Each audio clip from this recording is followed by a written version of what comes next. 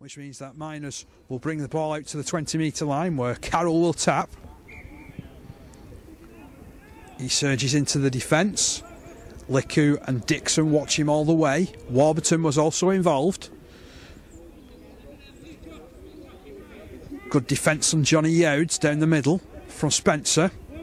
Jones this time works it right for Gray. Good running from Martin Gray as well. Makes a good 10 metres there.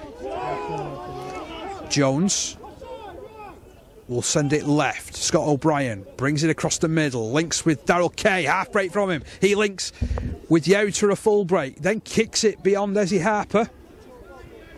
And he's won the race as well. Fantastic bit of skill there to first of all spot that he could get the kick in behind Ezzy Harper and then chase it down for the try.